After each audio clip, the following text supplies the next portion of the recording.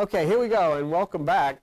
And um, we're doing our deep explorations into the labyrinth. We're going to kind of regroup a little bit where we've been and then get on. But two things I wanted to share with you, and I wanted to kind of put this, record this because of the interest. I don't know how many of you saw, but in, there's an Associated Press article this morning, and this is December the 29th, 1996, for what is about to come down. I think that those of you who are sitting here and those of you who have come along with us on television and these tapes and everything should take some consolation in this. That, and I don't know how, there's no way I can prove to you that what I'm telling you has been the truth. Um, you know, other than as you experience it, I know it makes sense to you, uh, which God should make sense, and God does make sense. But th these things that are, are happening now are, I should give you some encouragement about the credibility of what you're listening to and what you're involved in. Um, it's in the Asbury Park Press, but this is uh, Associated Press, December 29th. And the headline is Science Focuses on Stars and Mars in Search for Far Off Life. And I I'll just read you a couple of paragraphs. It is easy to reduce this year's science events to three words life on Mars, but that would be a mistake. When NASA scientists said in summer they had found evidence for life on the red planet, they added but an episode to this year's hottest scientific drama, a continuing saga as spine-tingling as the X-Files, a scientific revolution so significant it is changing our conception of life in the universe. In the last year, and this I think make you feel good, a number of findings have all but convinced scientists that life is not just a freak accident that could only happen on Earth, but an ubiquitous and irrepressible part of the universe. It's every bit as profound as the revolutions that were brought about by Copernicus and Darwin on our place in the universe, said Stephen Squyres of the University of Ithaca. And it's not just the famous potato-sized meteorite bearing chemical signs of microbe metabolism uh, perhaps, and then it, it talks about if life survived under those conditions, where else in the universe could it be hiding? Now, this part I want you to pay attention to. Perhaps near one of the nearby stars that are now known to have planets circling them. That's the eight. Only one such planet was known at this time last year. But now there are about a dozen, several of which appear hospitable to life and you found and you sat in this room as we tracked the announcement of each one of them. Okay? Now all of a sudden these planets are being highlighted as the ones that are special. And remember that's part of the symbol that was given to the Coptics. Closer to home, the Galileo spacecraft has been exploring a little known corner of the solar system that could harbor life. The spacecraft is going to take a close look at Jupiter's moon Europa, which some researchers consider even more promising than Mars as a potential garden spot. And researchers also got a clearer sense this year of how life develops. the genetic analysis of an ancient microbe revealed secrets about how the tree of life is organized. Understanding these organisms is going to get us a lot closer to understanding the origin of life, but it won't answer the question of whether life originated here or someplace else. Take that again now. Listen very carefully to what he said. This is Craig Venter of the Institute for Genomic Research. It won't answer the question of whether life originated here or someplace else. Now, I will answer the question for you. Life as you know it, look at each other, originated someplace else. Uh, this question became a little more interesting when a paper in the journal Nature presented evidence that rocks from Greenland hold chemical evidence that life existed 3.85 billion years ago. and then going down to the end of it now, this is another thing that I think most of you were here as we went through the eight planets. How significant is this? How important is this? How important is our Pegasus series? Listen to this. Maybe even tough enough to develop in some of the newfound worlds around distant stars, life. This year, two stars, 47 Ursa Major, an old friend, and Lalande 21185, that's Leo, that's planet number seven, have been discovered to have Jupiter-like planets that could harbor life. Now, what's important about this, and should be important to you, that we went and we tracked each one of these planets. And now this newspaper article from the Associated Press is talking about the um, uh, uh, number of planets, new planets around sun stars that have been discovered in the last year, and specifically named Ursa Major, which I think was number three, and Leo, which was number seven.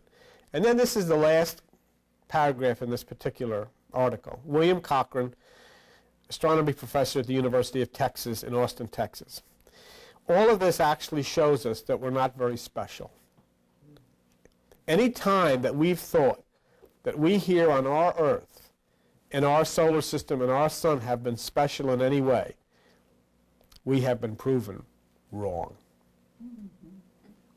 So um, I, I felt that this was very interesting and, and very encouraging, and, and, it should make you feel pretty good because well, a lot of people have been yelling, what have you been doing down there, and what kind of nuts are down in that basement. The Associated Press now is naming the very stars that we have been studying, the very planets that we have been studying, and say these may hold the secret and the key, and, and more than likely do. And um, I, I somehow would love to be able to get to one of these people. Maybe I'll drop a line or something and tell them that, uh, you know, they should do some looking at 4555 in the galaxy Coma. Now, last week, in addition, uh, everybody here was real nice and provided me with a uh, Stedman's Medical Dictionary on CD-ROM computer, so we can get the stuff a lot faster and, uh, you know. Um, I wanted to, I've already come up with some stuff. I just started pushing in, you know, and it just flies, you know, the stuff and it prints it out. one of the things that I found, I just thought I'd, I'd share this with, with you before we start. One of the things that I found is something in your head called pyramid of light. And what is interesting, um, I, I, as again, can't make copies. I'll leave it on the floor if you want to look at it. but it's a triangular area at the front part of the tympanic membrane, which you said is the ears hearing, running from the umbo to the periphery, where there is seen a bright reflection of light, a cone of light, a luminous cone. I just thought that was interesting. But there's a pyramid of light in your right. The other thing which I found interesting is something called hippocampus, which is in the brain. And this is a complex structure that forms the medial margin of the cerebral hemisphere, your brain. Well, what's very interesting about this, and Joan uh, brought it to my attention, it says the complex that forms the medial margin, and then they define the word medial margin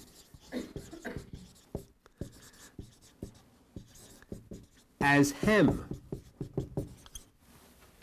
the medial margin hem of the cortical mantle of the cerebral hemisphere, your brain. And when Joan saw this, and we're thinking of, you know, Amen and God and Christ consciousness and God consciousness and the higher mind. And then we see in the Bible where the lady said, if I could but just touch the hem of the garment, then I would be healed. Yeah. See? You did that one. If I could just touch. So basically, what's being said here, if, if all right, if I could just touch that consciousness. Now, now, now, why is that interesting? If that stood alone, and I saw, you know, that's interesting. But let me show you why that's interesting. and as I said, I'll lay this on the floor so you can look at them. There are two gyri, G-Y-R-I, which are rounded, elevated things in the brain. One of these is called Ammon's horn. And this is in your brain. This is in your brain. In your brain is Ammon's horn. And when you look the word Ammon, Ammon is A-M-M-O-N, the Egyptian deity, God. Amun, which you know as Amen. what is so interesting about this is that if this is God's horn in your brain, The horn is a symbol in metaphysics of power. so then we have God's power labeled in your brain. So one, one of the two interlocking parts composing the hippocampus, which is the part of your cerebrum or your brain, is called Amun's horn. And Amen is God. Amen. Um, another interesting part of it, it says its major connection, and a lot of big words, and transparent septum, by way of the fornix, it portrays to the septum, by way of the fornix, and which, you know, is the cave or the vault that you find in, in your, your things. So I thought that was really interesting. And then one last thing that I, what I, is that, yeah, gosh, I come up with uh, a little bit of the something. Um, one last thing that is interesting. When you look at Amun, God Amun, let's look at AMU and N. Okay? The reason that is AMU stands for atomic mass unit. That's a, a symbol of atomic mass unit.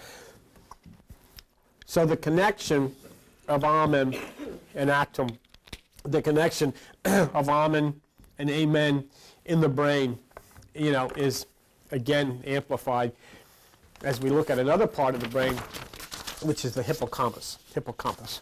Okay. Um, did you have? Do you have the things from last week? Okay. Both of you have one? Okay. Would you uh, just skip one? All right. so those are very interesting things, and it's amazing in this in this computer age how we go through books and study all of these things, and now you know I'm sitting there yesterday hitting buttons and, and, and then instantly gathering up everything. so let me see where we're at. If you have the stuff, we have pretty well arrived, and I won't go into detail with all of this stuff, but if you want to, if you have a pencil or a pen and you want to write on the front sheet, I'll give you the scriptures. All right? We have pretty much solidly drawn the uh, connection of cherubim in the Bible and cerebrum in your head. The cerebrum in your head, your brain, and the cherubim in the Bible are one and the same. If you have a pencil, you want it real quick. Exodus 25:20, Exodus 25:19, 1 Samuel 4 4. Ezekiel 10:3 Ezekiel 41 18. And 1 Kings 6:27 627. We then look and on page two of that stuff that I gave you, I'm going to refer to it as the stuff. As we were looking inside of the brain where the cherubim are, we looked at the Ark of the Covenant and we defined the word ark on page two. And on page two, you found that the ark was a electric current between two or more separated electrodes, etc.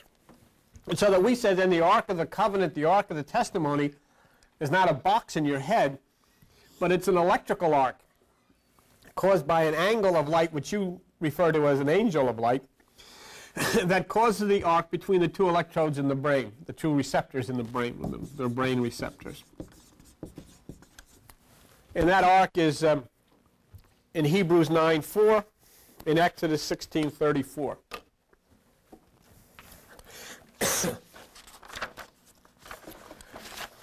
the almond part that I gave you, and uh, I don't think the person, the lady in the second, uh, third row there, she didn't get this.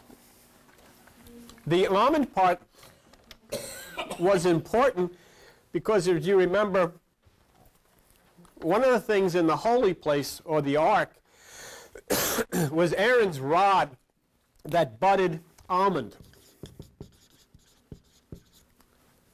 And we looked on page, um, the almond I would put in as 2A and 2B in your stuff. Hmm.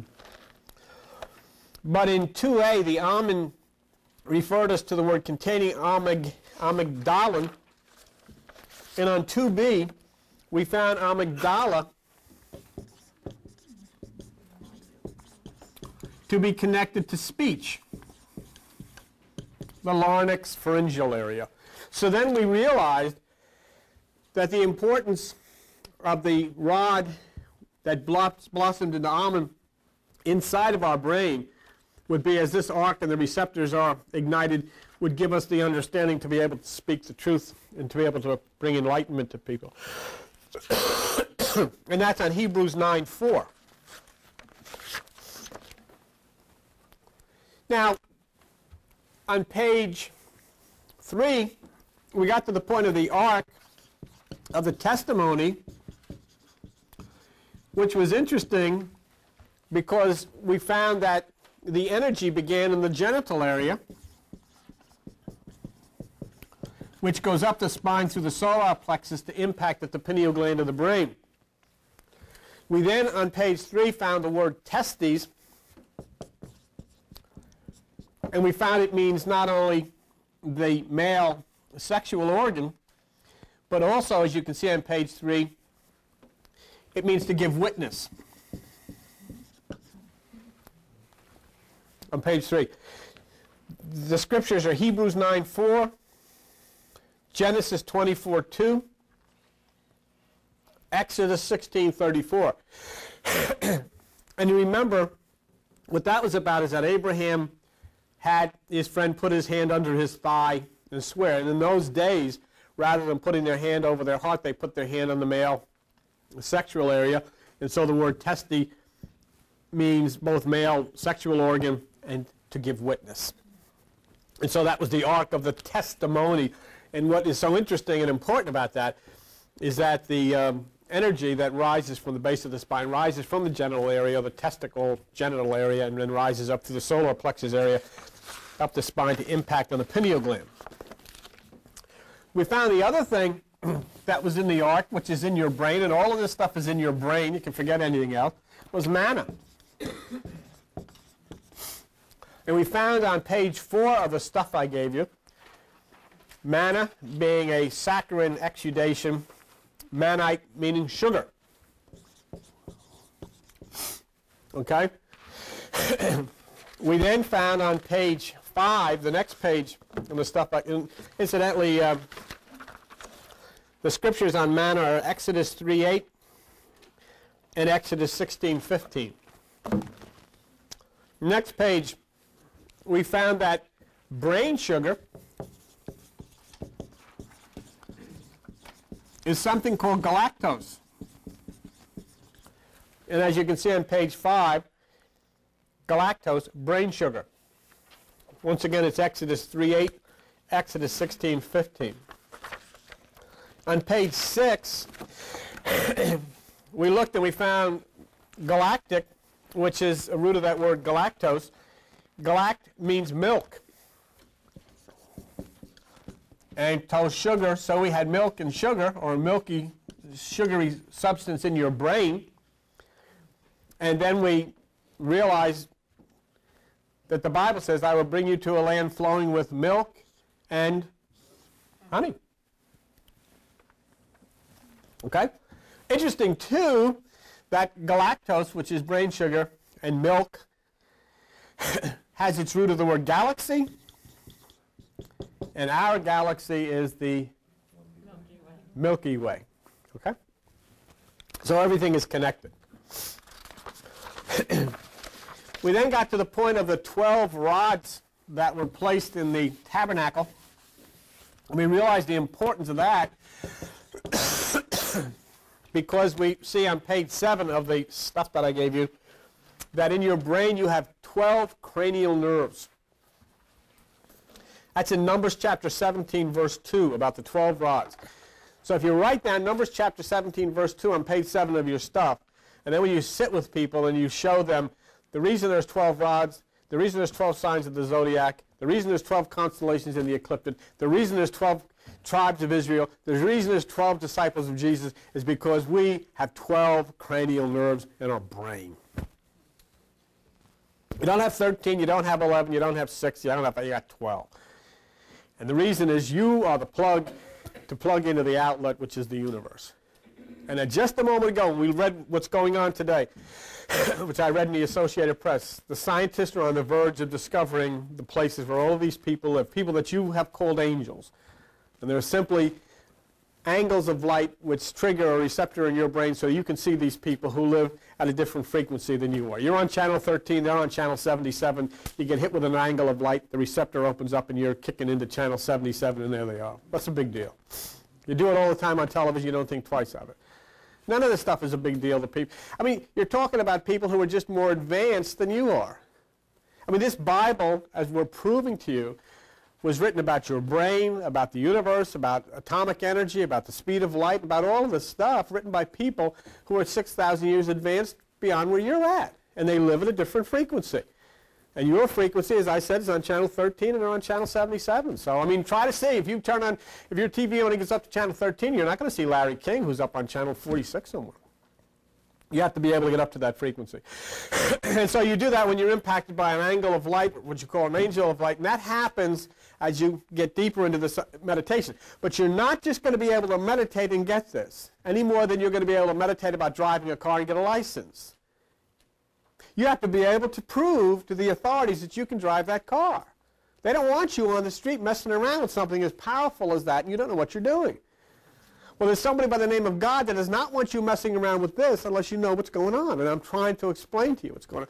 Once you understand what's going on, once you understand how this works, you'll be given that power to use it. You'll pass the test. And you'll meet summer hell. okay. Um, now, one of the things that is interesting that we, we were looking at last week is, of course, in Exodus, God told Moses, I want you to make the tabernacle. And I want you to make it according to a plan because it's a pattern of something else that exists. And he says, I want you to make the outer court, and I want you to make the holy place, the Holy of Holies. And I want you to separate the outer court from the holy place by the web or the curtain. No big deal. Very big deal. Very big deal because in Stedman's Medical Dictionary, we find that your brain, that thing, just put your hand up. It's, it's sitting on top of your shoulders right now. You can't see it, but you can feel it. It's there. It has an outer covering called dura mater, which means hard mother. It has an inner place called pia mater, which is tender mother. That's the holy place.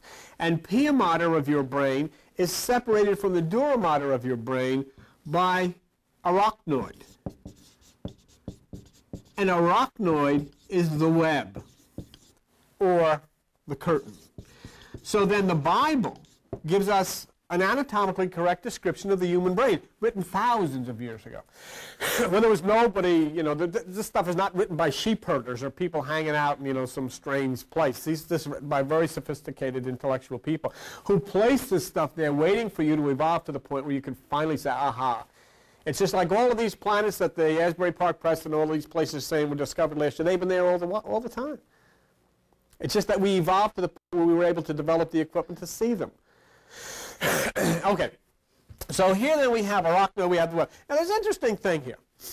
That's the tabernacle in the Bible. This is the tabernacle in your brain. Remember Dr. Gerald Goddard of uh, Gerald Toller of the Goddard Space Laboratories said that the universe is like the human brain. 10% of it is visible, 90% of it is invisible.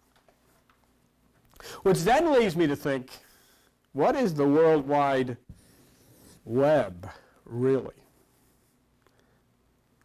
And uh, you talk about communication and intergalactic things which you're about to embark on and you're about to see for yourself. Uh, I think you'll, you'll have to come back to this place that you heard this here and found out, my God, there is a connection. And this is a connection that there's no priest, minister, pope, whoever has a clue that this exists. And yet, nonetheless, it's a fact. Nonetheless, we, we documented with Stedman's. Now, I want to show you something. What's interesting here and that is if you will turn to page 7 of the stuff, I, page 8 of the stuff I gave you. You'll see there the membranes of the cord. That's your spinal cord. And if you look under the word structure, it says the pia mater of the cord is exposed by the removal of the arachnoid. Arachnoid is the web.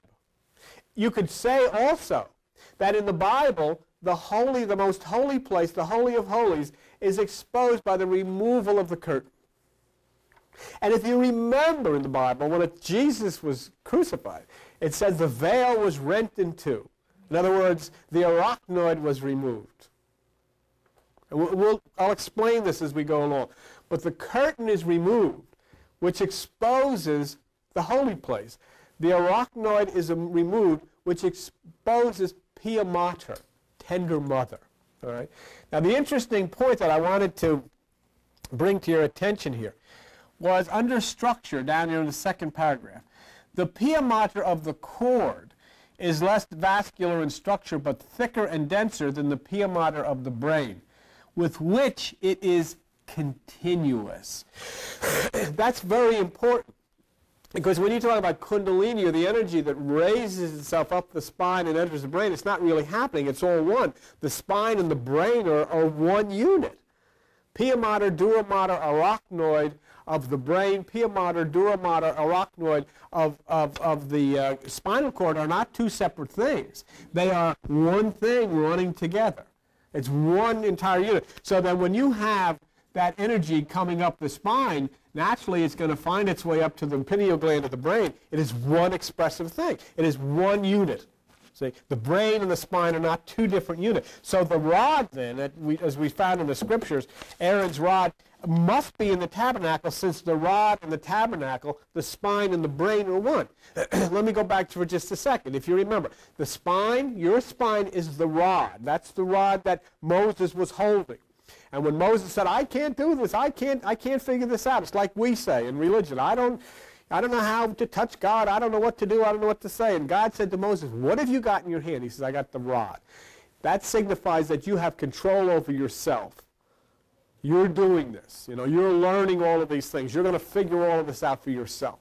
And God said to Moses in this myth, take that rod and throw it on the ground. In other words, turn loose of it. Don't control it. If you let go of yourself, you've heard that expression, let go, let God. Let go of the energy that flows up your spine. Let go of controlling your flow. And when Moses threw that rod on the ground, it became a serpent, which means when he was no longer dependent on his himself, the energy of kundalini was now free to rise itself up through the spine and impact on the pineal gland of the brain. And I'm not telling you something that's a Hindu thing, and you can read about it in that green book on the shelf in the back there. That's an anatomically correct thing. the energy is an electrical energy which passes from the base of your spine up through the receptors of the spine, which are called chakras. And as you know, that uh, these, are, uh, these are resistors, and they resist the electrical energy that moves through them. And they have to be open for that energy to raise itself up to the pineal gland. Now, that's why it's so interesting, because in the ancient times, the people would all chant Om. Om, you know, this energy would rise. And then we discover that, yes, indeed, they would chant Om because the international designation for the electrical resistance is Ohm, OHM. That's called Ohm's law in electrical knowledge. Now, who, who knew that? I mean, this guy, Charlie Ohm or whatever, that discovered this, discovered this in the 1700s. They were chanting Ohm for a thousand years. Because it's all, it's all written out for you. It's all there for you to discover. I, I, I, get a kick out of saying if the guy that discovered Ohm's law was named Schwartz, the Buddhists for thousands of years would have been chanting Schwartz. Doesn't make any difference. So the rod is in the tabernacle, and as Revelation 5 1 says, the seven seals in the brain. So there's a lot of people especially in, the, in, in, Christian circles, that when they hear this kind of thing about the seven chakras and the spine and the right hemisphere of the brain and all this stuff, and that this is Hindu or Buddhist and it's not good Christian stuff, but they're carrying it around in their own Bible. This is a Bible. It's not a Hindu. It's a King James Bible. This is the one they all use. Now, if, if you open it to 1000, page 1005 in that little Bible that you had there, and you read exactly what I'm talking about, about the energy going up the spine and through the seven chakras in your Christian Bible. But they, I don't think they've ever seen it. How could they not see this? Or is it something they don't want to say? I don't know. You're on page 1005 in Revelation chapter 5. Look in verse 1. and I saw it in the right hand. That's the right hemisphere of the brain of him that sat on the throne, that's the Amen that dwells in the higher consciousness, a book. That's the book of life, written where? Within. Within who? Within you. And on the back side, that's your spine, sealed with seven seals. Well, there it is. So what's the big, what are they freaking out about? What's the big problem? There it is. Okay? So the pia mater of the brain is connected with the pia mater of the spine. They're one. So we have to keep in mind that the temple is not just the brain, but the temple includes the, the spine as well. Okay, the circle, the temple, whatever you want to call it. Now, here we go. In the uh, brain, as we know, we have dura mater. We have the curtain and we have pia mater. In the tabernacle, we have the holy place where the priest goes in. We have the veil, and we have the most holy, where only the high priest can go in. Priest can't go in there. Okay. And what I want you to keep in mind is in your body, there is a tabernacle in your brain, there is a place that nobody can get in. You can't get in. No human being can get in. I'll show you a picture of it real quick. Uh, I don't want to dwell on it right now, but I'll show you uh, a picture of it on page 21 of the stuff I gave you. Okay? Page 21. if you look right in the center, There's a thing called fornix, which is the vault or the cave. And that is connected by something that goes to the left and the right side, the left and the right bowels, which are the bridal chambers. All right? and if you'll find that the only thing that can get through there is a strange word called for amen. And if you remember, Jesus Christ called himself, amen. If you look on page, uh, uh, let's see, it's about page 19. I don't have it, yeah, page 19. and if you look under peritoneum, and if you look down to the fourth sentence, you'll see connected by the four amen. So that that vault, that cave, is for amen and not for you, not for me. So it doesn't make any difference how hard you study. It doesn't make any difference how many lectures you attend. It doesn't make any difference how much you meditate. You're never, ever, ever going to get into the fornix. The fornix is the cave where Jesus was born, which you just celebrated on Christmas. The fornix is the tomb that Jesus was in when the stone was rolled away. What is going to happen when the stone is rolled away from the fornix in your brain? What power is going to come out of there? That's what this whole thing is about. All right? But remember, neither you nor a guru nor any teachers can do anything about making that stone roll away, by making that fornix open. That's four amen. And that will happen. Only the only thing that you're required to do is to get out of the way. You get out of the way and let the energy travel up your spine to the fornix. The stone will be rolled away, and then the power of Christ consciousness, Krishna consciousness, Buddha consciousness will come in. So you're learning basically what this is all about. The fornix in your brain is that place. Nobody can go to that side. No human being can go to that side. Okay? Now, oh, I do? Oh, okay. Thanks. I didn't see it put there. Now let's take a look here so that we look and we understand it. Page 981. Hebrews chapter 9 and verse 6. Hebrews chapter 9 and verse 6. Now, when these things were thus ordained, the priest went always into the first tabernacle, accomplishing the service of God. the first tabernacle, look up here, is Dura Mater. That's the outer holy place. And the priest always went in there. Every day. See. Now, what about you? So what do you care for a priest or a minister? I mean, forget that. What about you?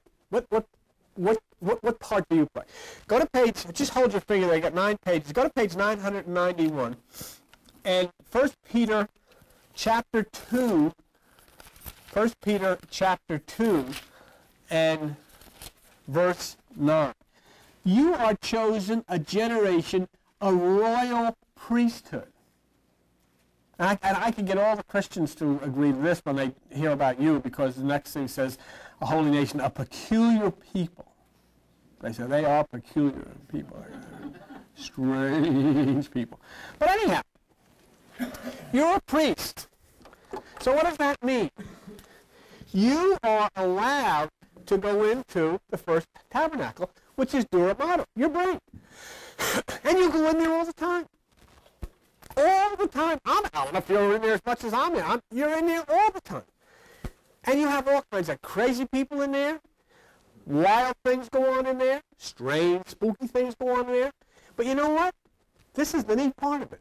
You are the only one on the face of the earth that can go in to that tabernacle.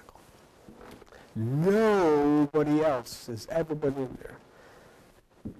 But still, the Mater, the most holy place in your brain, even you can't get in there. You're not allowed in there. So you got to do all it. So what do you do? You come in here on Tuesday night, you go into meditation, you go into the first tabernacle. And you're you're meditating for Aunt Susie, you're meditating because your foot hurts, you're meditating because you want to get money, you're meditating because people are sick, or you're just meditating for God, whatever whatever it is. It's nobody's business. I have no idea what goes on inside of your temple. The priest goes in there. That's you. So you have access. You have control.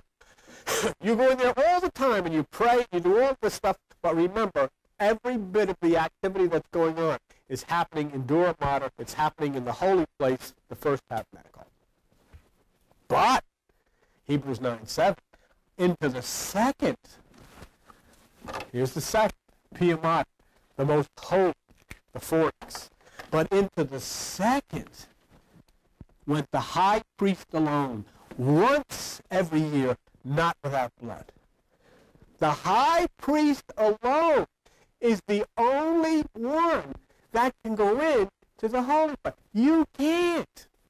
So you can't go to any guru or any educational place and learn how to meditate to get it never can happen. It's not your job, Mom. You can't do it.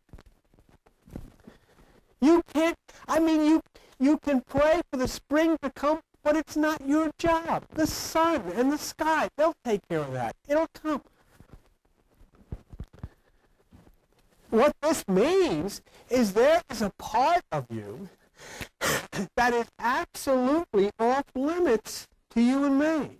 But there is something in you that will travel from deep down in the very basement of your being through the solar upwards to the pineal and then sit at the right hand where the fornix is and the stone will roll if you're ready. All you've got to do is allow it to happen.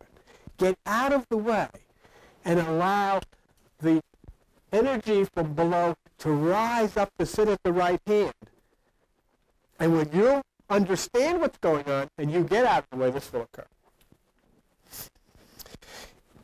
So this here is also the Garden of Eden. You remember the Garden of Eden? There's two things guarding the Garden of Eden. Cherubim. The Garden of Eden located the east side, of the right side. And the cherubim is the cerebrum. In other words, your brain is constructed so that not one bit of you or any of the kooky stuff that the preachers have ever told you is allowed to get into that right side. It is pure. It is virgin. It is unseen, just like the universe. Why? Because Pia Mater dwells there. Your Holy Mother dwells there. The high priest is Christ, Krishna, the Son. Now,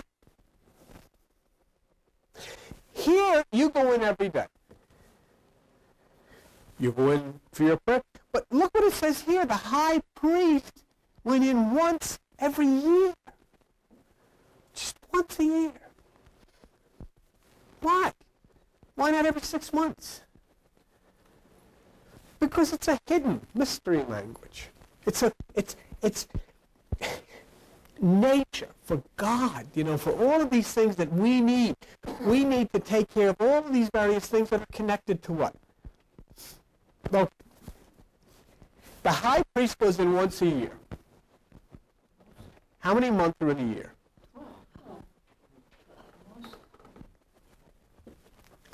Look on page 7 of your stuff.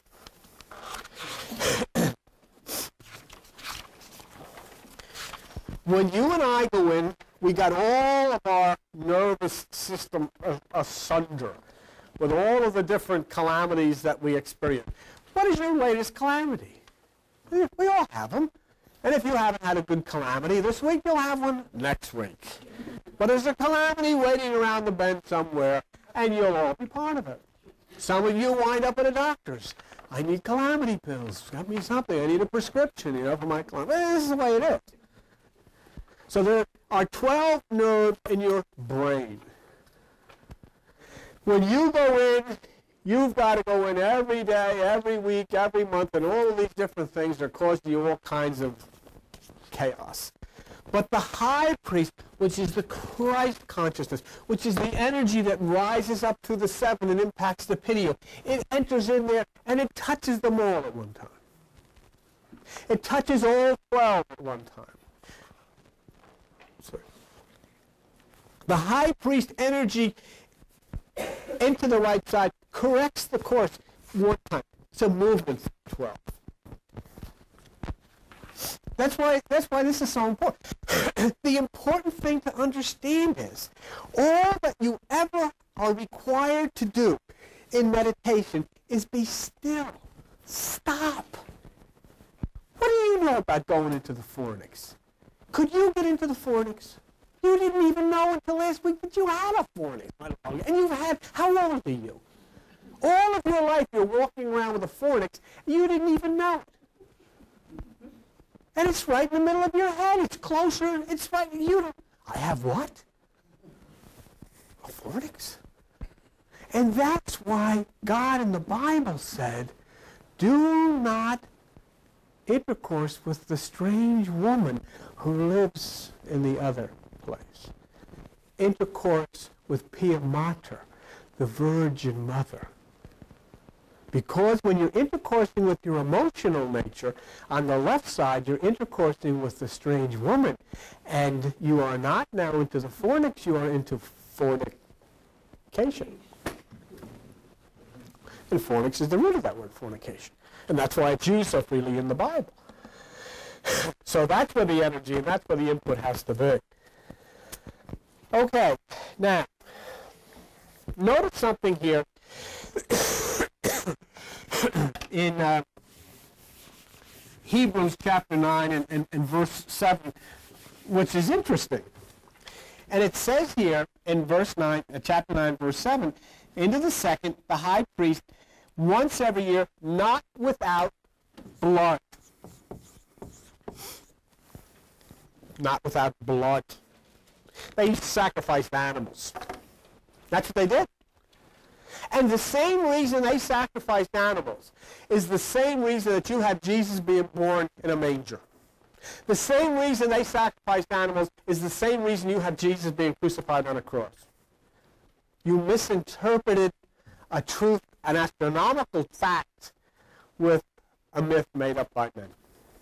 And you misinterpreted it. And so for thousands of years, hundreds of years at least, that's what they did. They kill animals. They, there's still some religions that do it today. They kill chickens. Some scuzzy guy did all these rotten things, and he said, I'll kill a chicken, and I'll take care of it. No, it won't. But why won't it? Because the stone is still stealing the forks. Sorry. Now, okay. Christ, the high priest, cannot get into the holy place on the right side unless blood is shed. If you look on the stuff that I gave you on page 9, there's a, there's a uh, description by Stedman's Medical Dictionary of the word blood. And blood is, according to this, the circulating tissue of the body. I think we got the noise here. Could you get me another battery, please? That's the, the circulating tissue of the body. The fluid and its suspended formed elements that are circulating through the heart, etc. if you just bear with me for one second, we'll uh, change.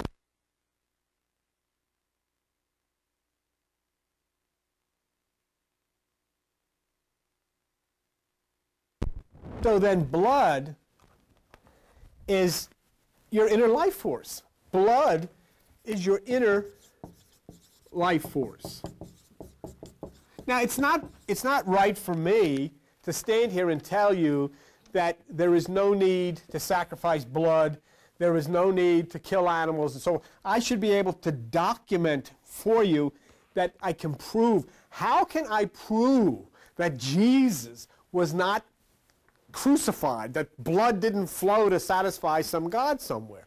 I mean, real blood. I mean, real, you know, just like when you bleed, real blood. This is the whole thing that the religion you followed all your life is based on. Go to page 942. and in page 500, 942, in 1 Corinthians chapter 15, 1 Corinthians chapter 15. Look at verse 50. Now I say this that flesh and blood cannot inherit the kingdom of God. It has nothing to do with it. Nothing to do with it. Then why, you say? Why have you followed a religious cult that has told you all of your life that Jesus was crucified on a cross? Why? Why have they told that to you? It's the same reason that they killed animals, because they misinterpreted an astronomical fact. The reason that Jesus is called to be crucified on the cross is because on December the 21st, the shortest day of the year, when there is more darkness on the face of the earth than any other day, the sun enters a constellation called the cross. It's crucified. And on December the 22nd, 23rd, and 24th, it is entombed in the bowels of the earth three days and three nights. It's called the winter solstice. That's a fact. And the sun is born out of the winter solstice on December the 25th. And from now on, every day it'll get a little bit lighter. And they took this magnificent thing, which has to do with the solar plexus in you and the right hemisphere of your brain, and made it out to be that there's some God somewhere that cannot forgive people unless blood flows. You know what that is? That is blasphemy. And there is somebody, and I won't use the word, but it starts with P, and there's two S's in it. Somebody is ticked off up there. And we have no business to go into these places and subscribe to this type of blasphemy against God that God cannot forgive you without torturing people to death. And that whole picture was drawn because the sun must go through the cross. if the sun did not go through the cross on December the 21st, you could not have spring in April. And if the sun does not go through the cross of the crucifixion within you in the meditation, you cannot have spring in your life. You cannot get out of the cold winter of your life. The sun cannot sit at the right side as it does in the universe. Now, the inner life force. And here, Paul says flesh and blood can have no part of the kingdom of God. Now, where is the kingdom of God? Yeah, but that's, you're, you're right, but, but that's not good enough. Let's look at it. Look at the words. Where is it? Look, pay, here, here are two, there are two things that your religion has said in all of its existence that are wrong. Number one, they said that Jesus is coming back to rule and reign on the earth. You see the preachers on TV all the time saying, Jesus is coming and every knee shall bow. And, and, and we're all going to, and he's going to rule in his kingdom on the earth. But you know what Jesus says in the Bible? My kingdom is not of this world. Doesn't anybody pay attention to this guy? And he also said, you can't see me without the vision.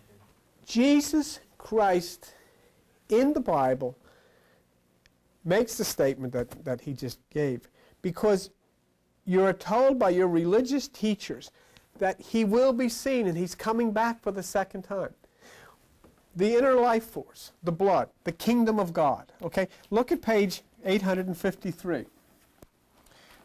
And look at Luke chapter 17. Now, if Jesus is coming and every eye is going to see him and every knee is going to bow, he's going to set up his kingdom on this earth, why did he say this? Luke chapter 17, page 853, verse 21. Neither shall they say it's here or look, it's there, for behold, the kingdom of God is within you. And look at the very the, the verse right before that. The kingdom of God comes not with observation. You can't see it. This is the Bible that they've taught you this. Nobody ever, and you know what? You're not allowed to get up and say, excuse me, Pastor. Uh, you, that's, that's not what the guy said. Because they'll say you don't have any faith.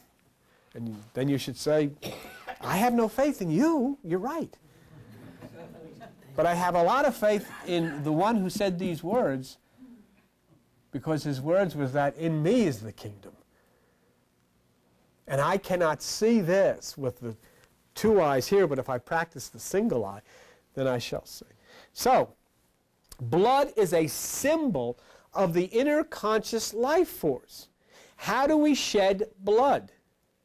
How do we shed the inner life force so that the high priest can get into the holy temple. In other words, if you do not shed the inner life force, the high priest cannot go into the temple because the high priest cannot go into the holy place without the shedding of blood. So you have to shed the inner life force and then the high priest can go into the holy place or this whole deal is going to go south. Now how do you shed the inner life force? Go to page 782, Matthew chapter 6 page 782, Matthew chapter 6. And in Matthew chapter 6, on page 782, Jesus uses an ancient Eastern technique of teaching. If you're trying to make a point about a specific thing, you use numerology. In this particular case, Jesus is talking about your five senses sight, taste, touch, smell, and hearing that have to be turned off. That's your life force. They've got to be turned off. So he says in Matthew 6, okay, chapter uh, verse 25, take no thought. That's one. He says in Matthew 6, chapter 27, which of you by taking thought? That's two. He says in Matthew 6, 28, why take thought? That's three. He says in verse 31, take no thought. That's four. And he says in verse 34, take no thought. That's five. The five times there are the symbol of taking no thought for consciousness, which will then bring you to that inner life force, which was the shedding of blood. The shedding of the inner life force occurs when you take no thought. It doesn't mean take no thought for your life because you are normally going to worry about your life. You're normally going to worry about your health. You're going to worry about your children. You're going to worry about your finances. These are normal things. But when you take no thought, you turn that life force that is the Christ force in side of you loose. Okay? Now, wait a minute here. that's the way we're interpreting this. That's the way I'm interpreting this, but that's not fair. Because maybe maybe the blood that they took of animals, maybe they, they should have done that. I mean, we got to go a little further here. We're saying, well, flesh and blood, but still in all, maybe it's talking about animals, maybe you have to sacrifice it. Let's make sure that what we're saying here is correct before we go any further. All right? Real quick with me and run with this, and I'm going to have to get out of here. Page 483. Psalm chapter 40. Psalm chapter 40 and verse 6. Sacrifice and offering you did not desire, my ears have you opened, burnt offering and sin offering have you not required. In other words, somebody writing the Bible said, Geez, I think I finally realized what this meant. Finally, I understand that you never required any kind of sacrifice. And if there was no sacrifice required, it blows the whole thing about the sacrifice of Jesus Christ. It's not required. The sacrifice of Jesus is the sun energy within you as we're describing. It has nothing whatsoever to do with God killing people or killing animals. Look at this. Page 489. Psalm 51. Psalm 51, verse 16. For you desire not sacrifice, or I would do it. The sacrifices of God are a broken spirit, a broken and a contrite heart. I mean, is that in the Bible? Do you, do you, is it in the Bible you're looking at? Now, where did it come from? Who made all of this stuff up? How is it possible? look, you know, look, look, what they, look what they do. Here, here you have a situation where in the temple they bring an animal in, blood all over the place. And they'd all go, hallelujah. And then you got Jesus on a, let me tell you. It's all, you know, I'm going to tell you it's consciousness, okay? Where was Jesus crucified? Golgotha. Golgotha. The word Golgotha means skull. Okay? Now, I'll tell you something else. Remember, the energy goes from the testicle or the testes, testimony, genital area, to the brain. Look at that stuff I gave you a little closer and you'll see it too. The word testi, testify, testicle. The word testa, skull. It is the same. Huh? Now, so then we have this. Page Go to page 578. And page 578, Isaiah chapter 1. And we'll ask the question. Let's ask the question together. Okay? Isaiah chapter 1, look at verse 11. To what purpose is the multitude of your sacrifices? I'm full of this burnt off rams and blood, bulls, goats. But look what he says in verse 12. When you come to appear before me, who has required this at your hand? Another, who told you to do this? I want to ask you a question, and I'm going to ask myself the question. Who told you that God had to kill Jesus in order to forgive me? Who told you that God is not satisfied unless there's blood flowing? The same people that told you and misled you are the same people that told these and misled them religious. But when you start dwelling in this, God has got to crucify people, and God is going to come back in Armageddon, and all of this, excuse the expression, garbage. Remember this, remember this, remember this scripture too. Right where you're at. Verse 15, Isaiah 1. Hey, when you spread forth your hands, I'll hide my eyes from you. And when you make many prayers, I'll not hear because your hands are full of blood.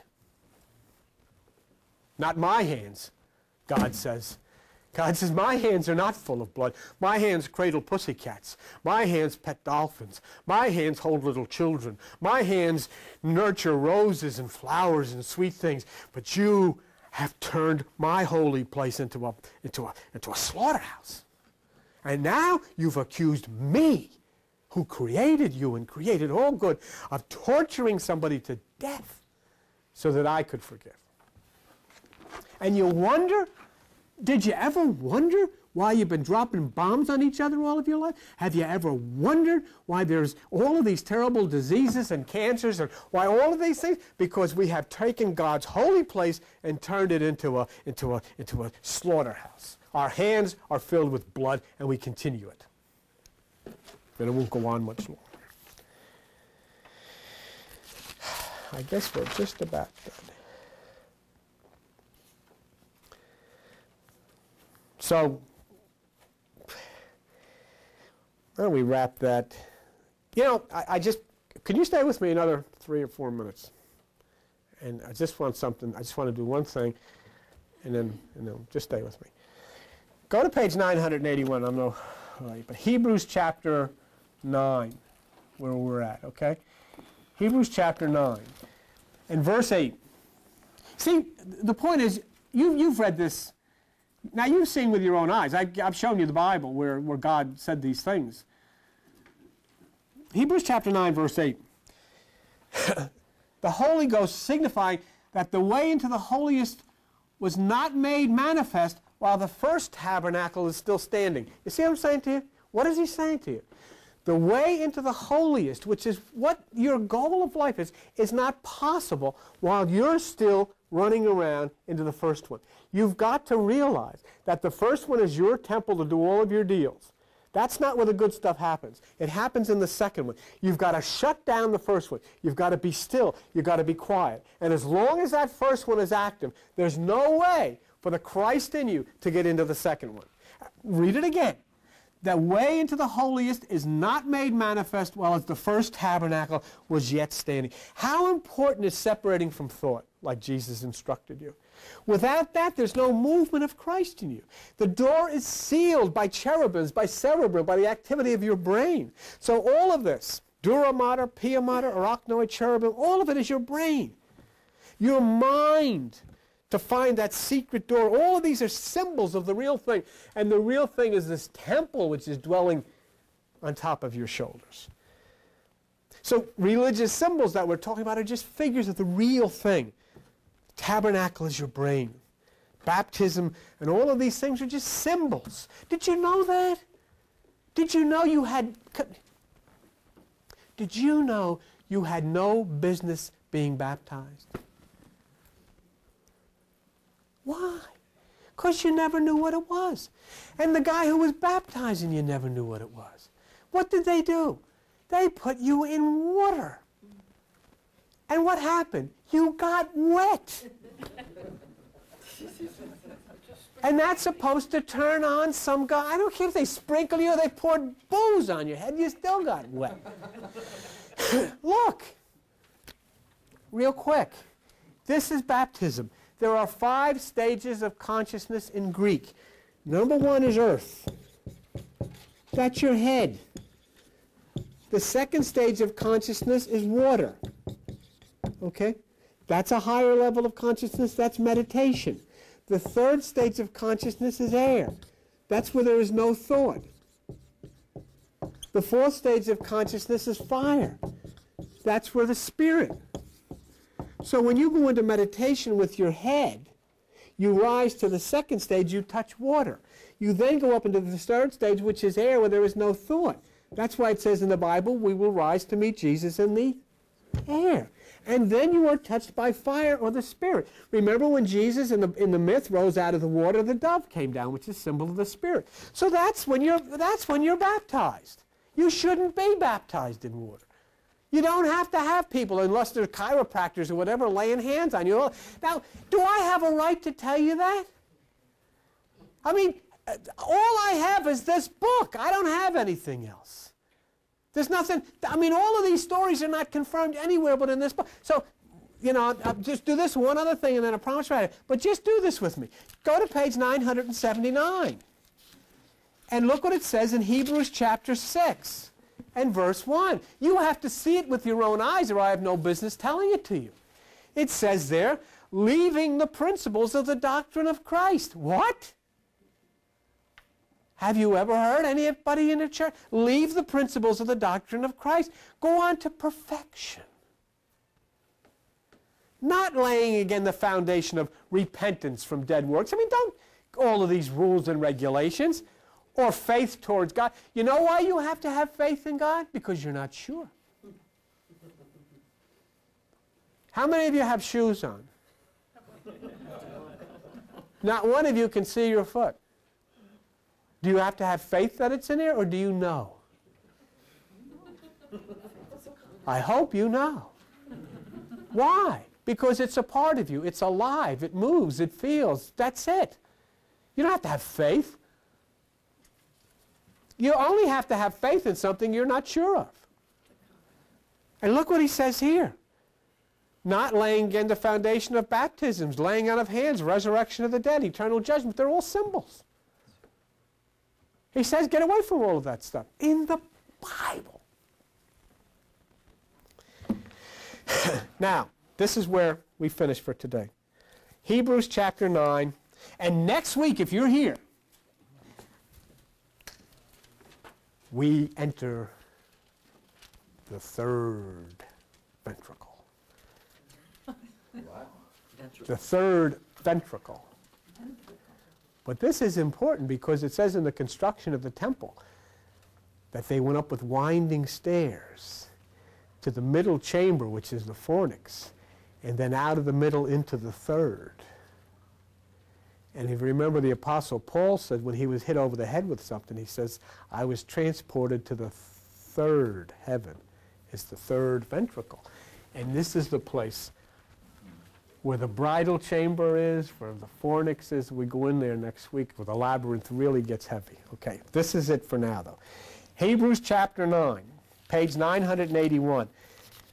Now, this is what I've been telling you about all of the symbolisms that were in the Bible of the old tabernacle, of the old temple. Look what he says, Hebrews chapter 9 and verse 9. Okay? well, let's read 8. The Holy Ghost signifying that the way into the holiest was not made manifest while as the first tabernacle was yet standing. Okay, now watch this. Which was a figure for the time then present, in which were offered gifts and sacrifices, church religion, that could not make him that did the service perfect as pertaining to the conscience, as pertaining to the mind. And you know that. You went to church all of your life and your mind was a zoo. I know. But what we're happening here, we're understanding now, is how this very mind that you have can submit and become perfection. I don't care if Dura is perfect because I know Pia is perfect. And I know as chrism, which is the oil, rises up, moves to the right side, the stone will be rolled away and the power will come pouring out into that which is the mind, into that which is the soul, into that which is our very being, the oneness with Christ. So this basically then is how it works.